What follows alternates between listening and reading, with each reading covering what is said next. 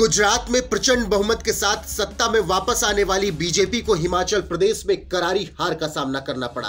कांग्रेस ने हिमाचल में शानदार तरीके से जीत दर्ज करते हुए सत्ता में वापसी कर ली है। जिसके बाद बीजेपी के कई नेताओं को ये बात अखर गई तो वहीं कई नेता ऐसे हैं जिनका दर्द भी छलका है। आपको बता दें कि भारतीय जनता पार्टी ने गुजरात में बेशक शानदार तरीके से जीत दर्ज करते हुए इतिहास रचा हो, लेकिन उसे हिमाचल प्रदेश की जनता ने सत्ता से बाहर का रास्ता दिखा दिया। मतलब कि हिमाचल का रिवाज नहीं बदला और वहाँ पर सत्ता परिवर्तन हर पाँच साल बाद जारी रहा। हिमाचल की हार से बीजेपी के पूर्व अध्यक्ष और पूर्व केंद्रीय मंत्री नितिन गडकरी का दर्द छलका है। गडकरी ने अपने बयान में साफ़ कहा कि उस राज्य में बीजेपी का नसीब साथ नहीं था, इसीलिए हार मिली। वरना एक दो फ़ीसदी वोट और मिल जाते तो निश्चित तौर पर बीजेपी सत्ता में होते। गौरतलब है कि नितिन गडकरी ने हिमाचल की हार के बाद अपने बयान में कहा, हिमाचल प्रदेश में जो भी दल सत्ता में आते हैं, उसके और विरोधी दल के बीच वोटों का अंतर बहुत कम होता है। जब मैं बीजेपी का अध्यक्ष था, तब मेरे सामने भी दो चुनाव हुए। वहाँ बहुत कम अंतर से हार जीत होती है। मुझे जो जानकारी मिली, हम कई सीटों पर बहुत कम वोटों से हारे। हार के कई कारण हो जाते हैं। कभी सत्ता विरोधी लहर, कभी विधायकों के खिलाफ गुस्सा होता है। लोग परिवर्तन चाहते हैं। मैं यही कहूँगा कि नसीब ने हमारा साथ नहीं दिया। एक दो परसेंट ज़्यादा वोट मिलता तो हमारी सत्ता आ जाती। है नितिन गडकरी के इस बयान से साफ़ समझा जा सकता है कि हिमाचल की हार उन्हें चुप गई, इसीलिए उनका दर्द छलका है।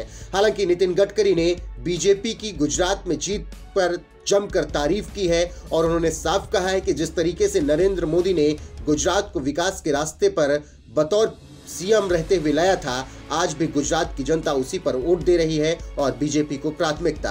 अच्छे रोड, पानी, बिजली, ट्रांसपोर्ट, कम्युनिकेशन, कृषि, मेडिकल, हेल्थ, एजुकेशन हर जगह बीजेपी ने गुजरात में और देश में शानदार काम किया, इसीलिए गुजरात की जनता ने बीजेपी को सिर आँखों पर बिठाया है।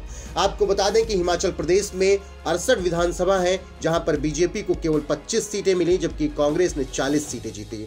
वहीं पर एक सौ बयासी विधानसभा सीट वाले गुजरात में बीजेपी ने एक सौ छप्पन सीटों पर जीत दर्ज की और कांग्रेस को केवल 17 सीटें मिली। इस तरीके से बीजेपी ने गुजरात में जीत दर्ज की। हालाँकि हिमाचल में उसे हार मिली तो नितिन गडकरी का दर्द भी छलका।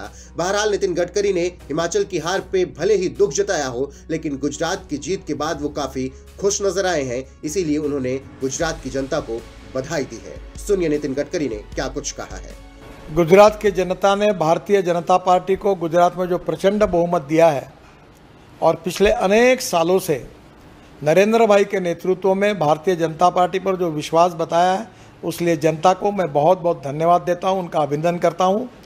आदरणीय प्रधानमंत्री नरेंद्र मोदी जी गृह मंत्री अमित शाह जी, गुजरात के मुख्यमंत्री भूपेंद्र भाई पटेल जी, हमारे पार्टी के अध्यक्ष जगत प्रसाद नड्डा जी और प्रदेश के अध्यक्ष श्री आर पाटिल जी, इनको सबको और पार्टी के सभी कार्यकर्ता को मैं हृदय से बधाई देता हूँ, उनका अभिनंदन करता हूँ।